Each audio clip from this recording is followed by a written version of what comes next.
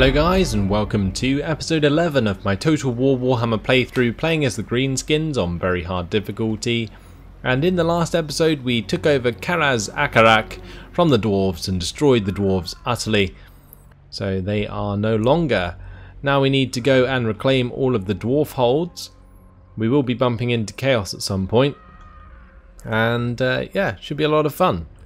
Uh, we're probably going to have to uh, go through the border princes else they might likely attack us in the back. Uh, but that shouldn't be too much of a problem.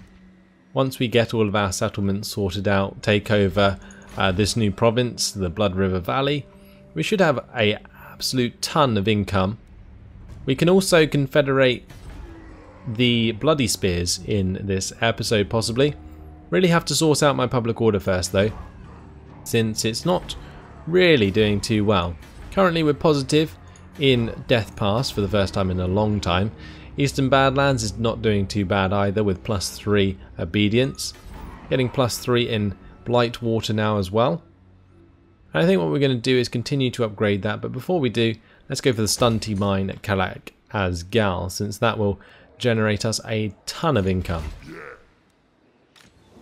So Morgulus Wolfherder, what you're going to do today is start by colonising Barag Dawasbag. Thank you very much, good sir. And you're going to upgrade that to a greenskin hideout. We're going to move on to the next turn.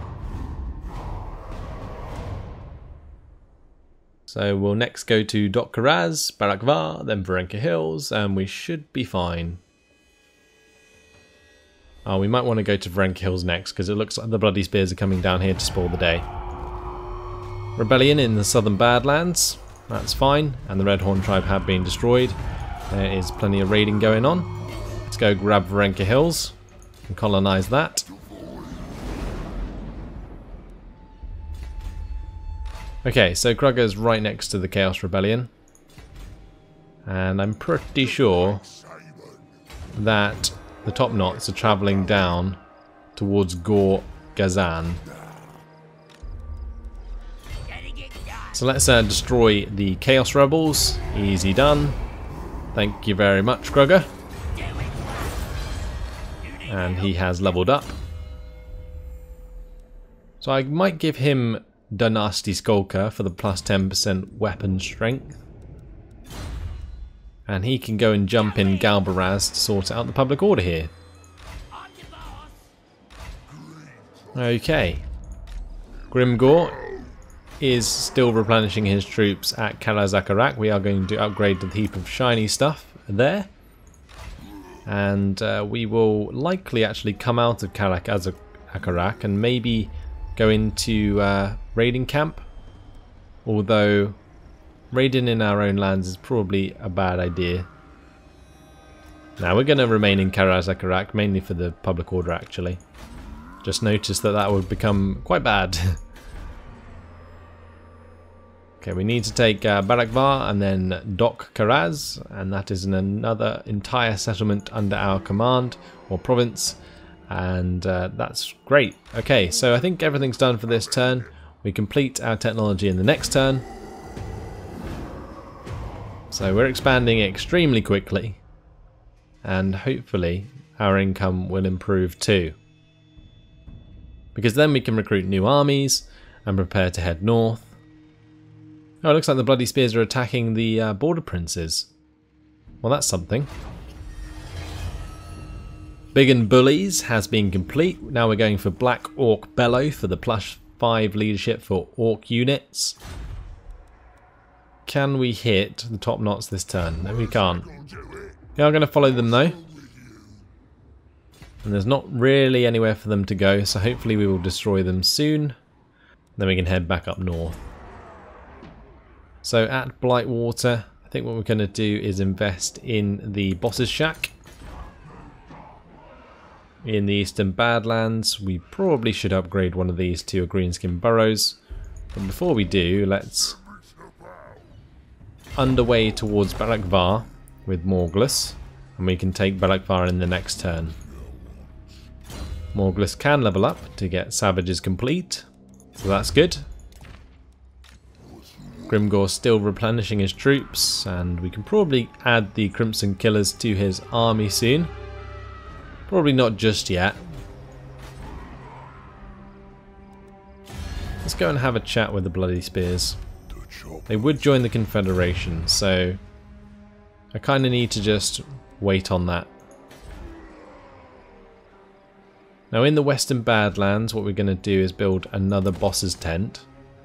Because we do need two in each of the provinces in order to cancel out the very hard difficulty and the taxes. If we were playing on normal difficulty, you'd probably only need one in each province. Considering there's not much better to build anyway, it's not too much of an issue. But that has used up the majority of my cash. Let me just go into the provinces tab. This is the easiest way to see if there's stuff to build. For the Desolation of Nagash, I might actually upgrade this to a boss's shack so that we get plus 2 obedience there. To, and also it kind of helps cancel out the Vampiric and Chaos Corruption. So we'll end the turn. Barak Varr will soon be ours. And it's nice because we sort of have a bit of peacetime at the moment where we can sort out what we want to do next. So there's raiding at Karaz-a-Karak. I think that's just the... I think that's our... Yeah, our allies, the Greenskin Wa. That's what I, I was trying to get at. just sort of chilling on our lands right now, raiding us. Well, we're going to upgrade to the shiny pit there. Should give us more income. We can maybe crush the uh, top knots today. I don't know. Let's colonize Gore Kazan and uh, then they won't be able to settle in our lands. Because with this army, of Sneak Armbreaker. Basically all of the garrisons now in the Southern Badlands should, in theory, be able to kill that army.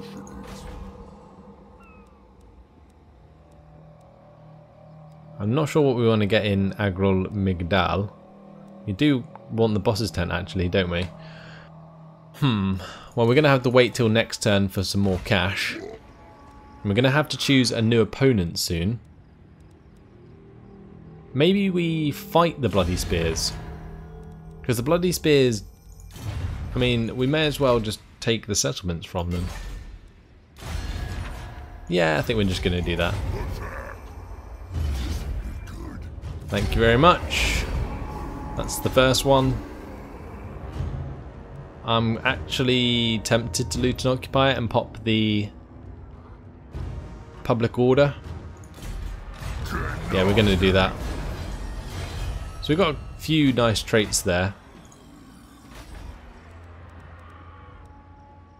I can repair these two buildings and we'll move on to Mount Squighorn. I might be able to get Gorkill to uh, take Mount Squighorn for us. Actually, maybe I can just do it myself in the next turn. Yeah, I think we might do that. Either way, Grimgor has leveled up. So we will give him Ard Lads. And next turn we will get the Crimson Killers. Largug One Finger has also leveled up and can continue with Propagandist. I need to get him actually out of the army. There we go. I keep forgetting. May as well deploy him for this turn. So currently plus 7 public order per turn at the Southern Badlands. Let's get that boss's tent finished and we'll get the heap of shiny stuff. Morgulus can take Barak Varr if we had enough cash. Maybe we can delay the building of that boss's tent for one more turn. Well actually, maybe we get the boss's tent, but not the uh, heap of shiny stuff. Or maybe not either, because there's so much stuff we can build here. Like, we definitely want to get the greenskin hideout at Barak Varr, and we also want to start working on the piles of shiny stuff. So we'll do that. Okay, Krugger can stay where he is. We can issue a commandment in the southern Badlands, which will be Camp Ruckus. And we'll move on.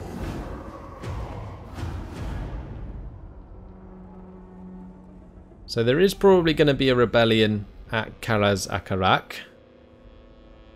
But that should be fine.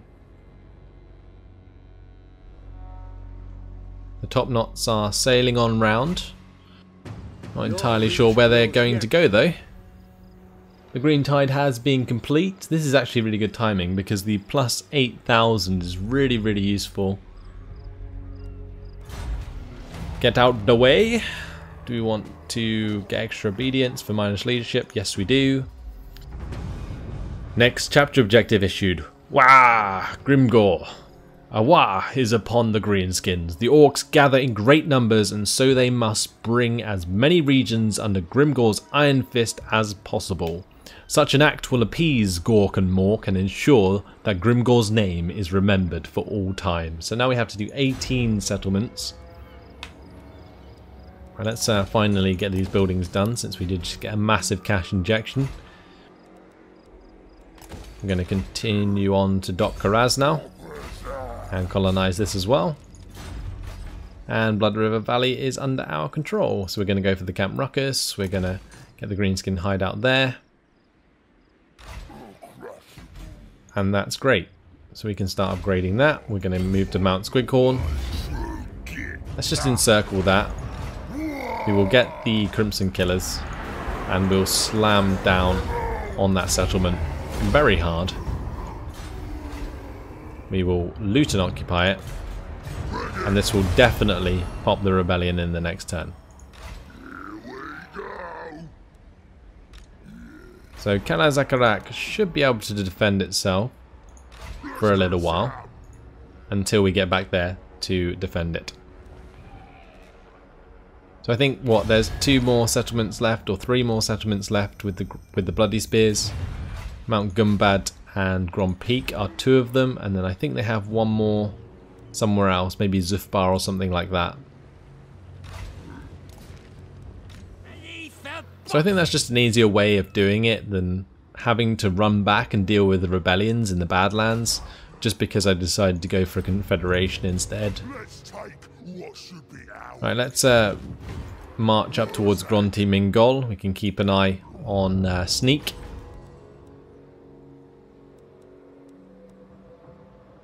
Uh, Largug. He can probably try and assassinate this chap.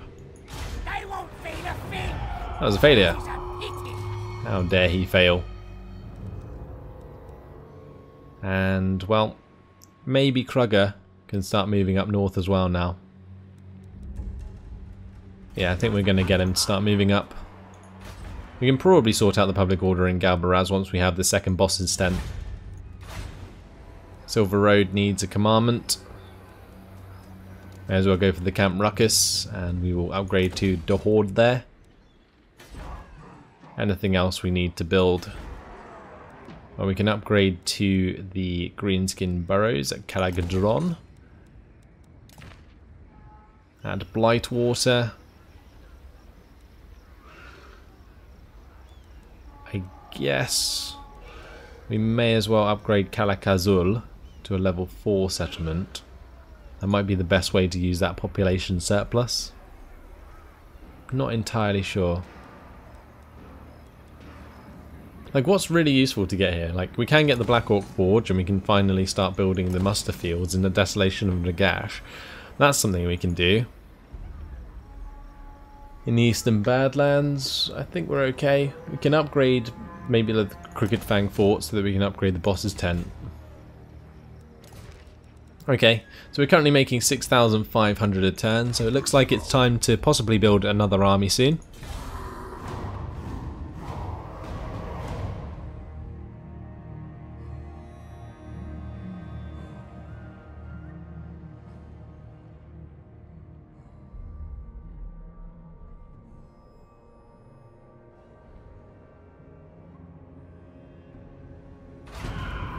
And the rebellion. And the Silver Road. I think it was just destroyed by the Wa though. So we are getting positive public order already. Well, that's one way to do it.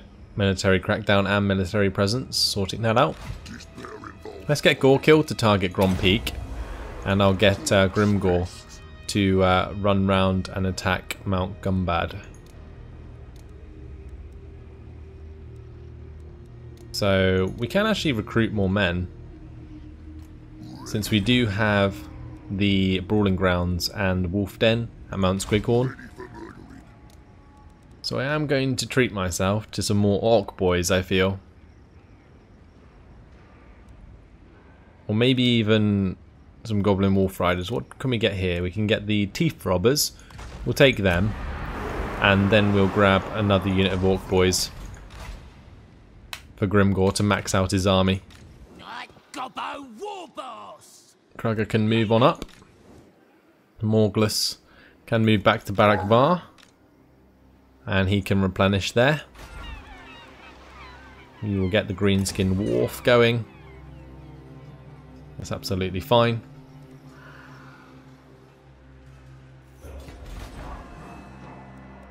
May as well upgrade to the boss's shack at, in the western Badlands. And here we may as well get the pile of shiny stuff.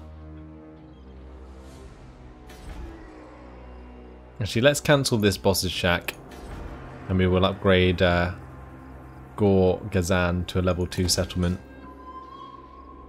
Because then we can get maybe another boss's tent, I'm not sure.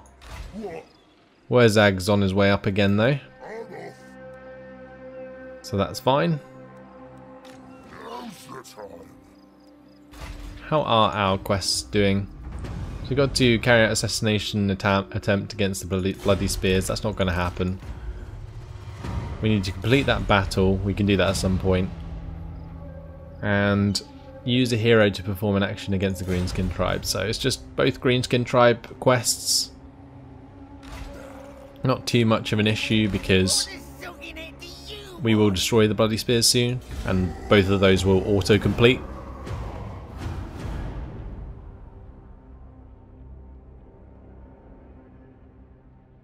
So I'm not sure how my Wa intends to get to Grom Peak, but it just went the other way. And Grimgor just got assassinated. Wow. Well, I guess uh, Crusher can take up the mantle for a little while. Morgler is in our way, so what are we going to do about him? Not much, apparently. Moving. Because we can't move too much farther forwards. Could go into a raiding uh, camp. But I think we're not going to. We're just going to chill. Just going to chill here. Let's have Lager come over. We need to get rid of this uh, Turg backstabber. How long is Grimgor down for? Four turns. How annoying. By the way, Werzag is on his way up. I'm loving this uh, extra obedience at the moment that we're getting. That lasts for one more turn. It's definitely helped sort things out. Southern Badlands may suffer from some minus obedience for a while. But we should be able to sort it out once we have the growth there. So once Dor Gazan, for example, uh, levels up the settlement, we should be able to build another boss's tent there and forget completely about the Badlands. In Blightwater, we can use the cash to uh, upgrade one of these settlements. We'll probably just get uh, Death Gorge to upgrade. And we'll upgrade uh, of Sorrow as well. Morgulus is still going to be replenishing, although he is going to have to uh, increase his fightiness soon, since he has just been running around colonizing. We'll get the pile of shiny stuff at Karaz and we'll upgrade Barak Varr. Seems like a good use of our cash. And we will end the turn there.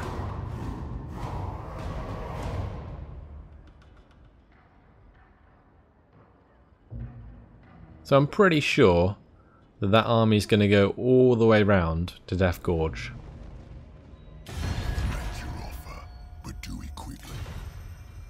Top Knots would like a peace treaty. Who are they at war with? Just me? I mean, we probably could take this peace treaty. Because they'll probably just die out anyway because they don't have a settlement. I don't know, I think we just decline it. Because then they can never safely come into my lands. I'm well nasty. Let's uh, move up here in underway stance towards Nashrak so that we can attack him in the next turn if we need to.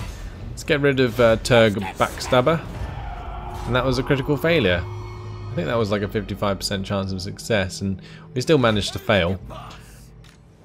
That's quite spectacular, honestly. Let's move towards uh, Karag Dramar with Krugger. Morglus Wolfherder can maybe attack the Border Princes soon. Wurzag's on his way up and he's losing fightiness as well. How much fightiness do we actually have in this army? Currently 41 and we're losing one more. Oh god. Um, yeah, maybe we just destroy the border princes. They don't have a very big garrison. Let's jump into the provinces tab anyway. And we will upgrade things at probably Death Pass. Get Greenskin Burrows going there.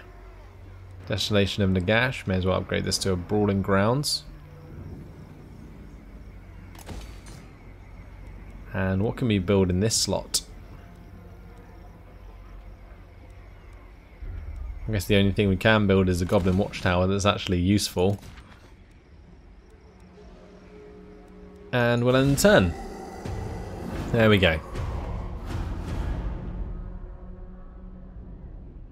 The Wa is running on through the Empire's lands.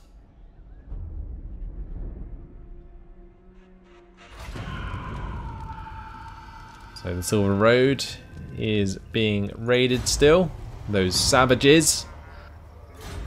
It looks like uh, Savage Orc tribe has come.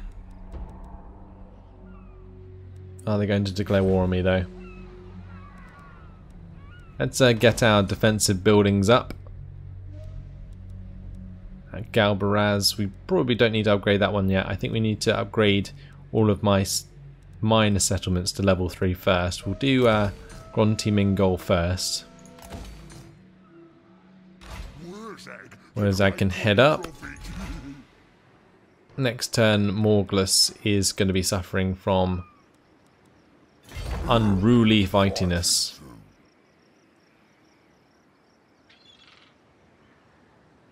So we're going to probably jump on Akendorf. I'll have Krugger move towards uh, Matorca and we can crush the Border Princes. To be the first time in like eight campaigns that I've actually fought the Border Princes. Pretty crazy. All right, all right. Right, let's uh, smack these guys to pieces. Just auto-resolve that, thank you very much. Crush those chaps. Bossy, extra growth and obedience. Not too bad. Can we uh, march to a location which doesn't suffer from attrition? No, we cannot. But we may as well just march forwards. So Crusher can get dripping tips for the extra poison attacks in the Lord's army. And how many more turns now till Grimgor's alive? Two. Okay. So at Varenka Hills, we may as well be upgrading another one of these settlements. I think Varenka Hills itself is the best one to upgrade first. Anywhere else we can upgrade things. At Calagdron we can start working on the uh, Goblin Watchtower. And we do have low fightiness, but that's okay. So we can move on to the next turn.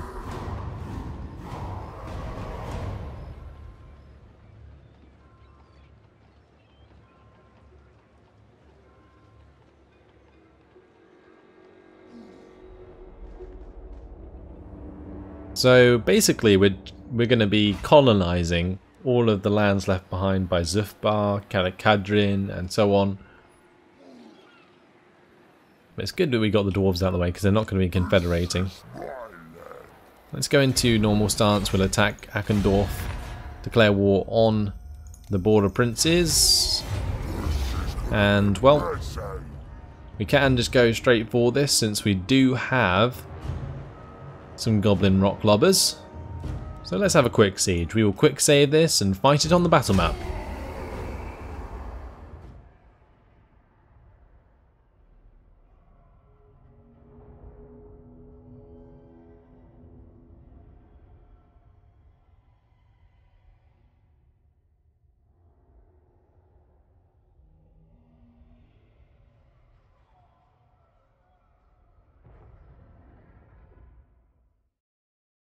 And here we are, the Siege of Akendorf.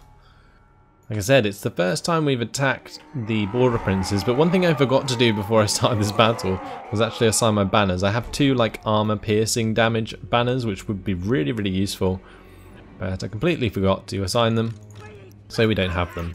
We're going to have the uh, Goblin Rock Lobbers start in the centre, fire at the gatehouse for us. We'll have all of the uh, bow units move on forwards at the start probably have the Night Goblins actually start behind the Orc Archers because the Orc Archers can take the missile fire whereas the Night Goblins will just run away. We'll have all of the Forest Goblin Spider Riders hide in the forest along with the Orc Boar Boys and we'll have all of these chaps climb the wall and crush the enemy infantry. Easy. Okay, let's uh, start the battle. We will charge on forwards with all of our orcs.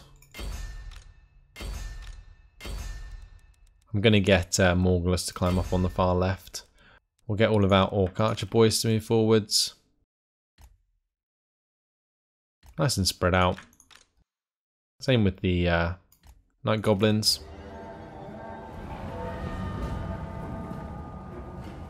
Oh yeah, we need to get the uh, goblin rock lobbers to hit the gate. Otherwise, these uh, spider riders are completely useless.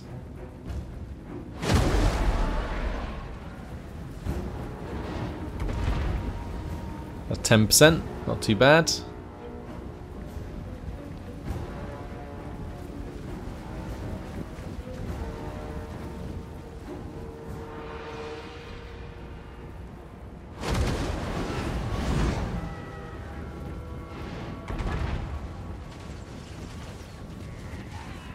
Okay, are the uh, Night Goblins even in range? That's the question.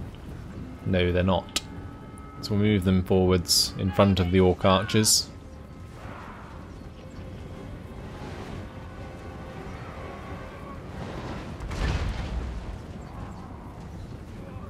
At least we are doing plenty of damage to the gate.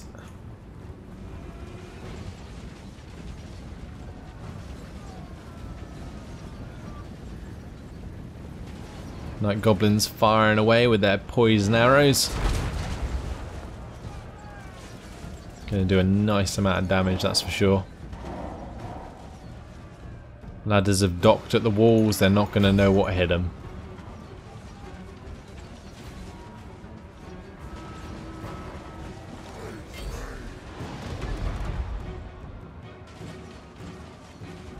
Fifty-two percent damage onto the gates.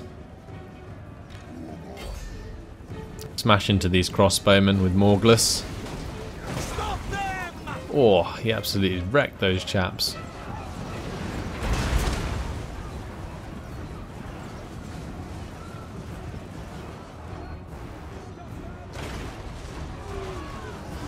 That missile fire is seriously deadly.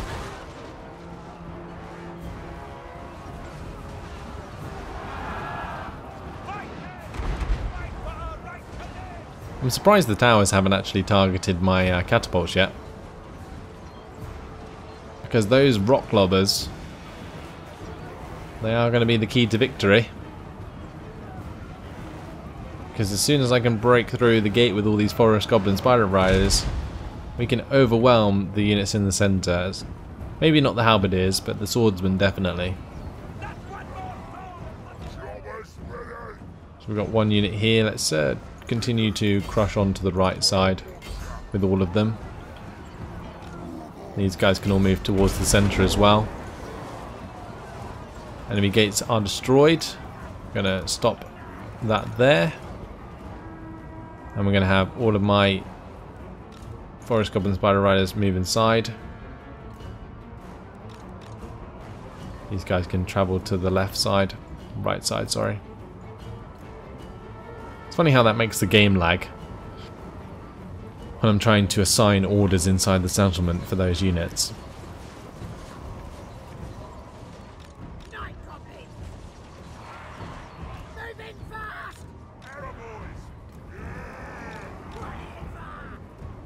Let's get my uh, night goblins inside and the orc archers in front of them. Okay, so it's just the unit of halberdiers there. Charge on forwards with all of our units.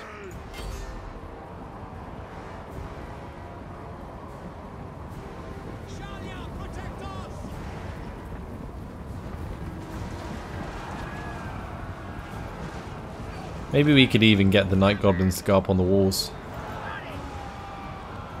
Actually, let's get the orc archers on the walls. Because the night goblins are shorter ranged.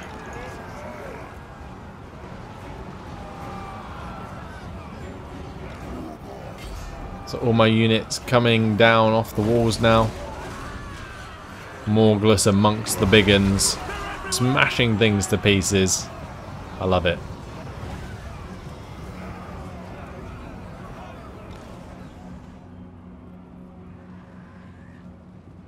So these units have come round the flank. It's really good. Run down these crossbowmen. Four crossbowmen. I would hate being run down by a giant spider. That would completely creep me out.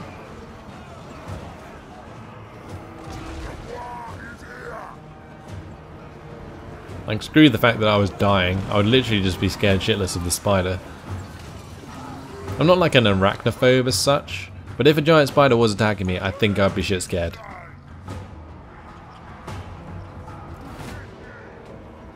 And there you go. You learnt something about me, and you saw the siege of Akendorf. We'll end the battle there for a decisive victory. 256 losses, not too shabby. We can take that settlement. Not entirely sure if we can actually colonize it, but we can definitely just sack it and raise it. Job done.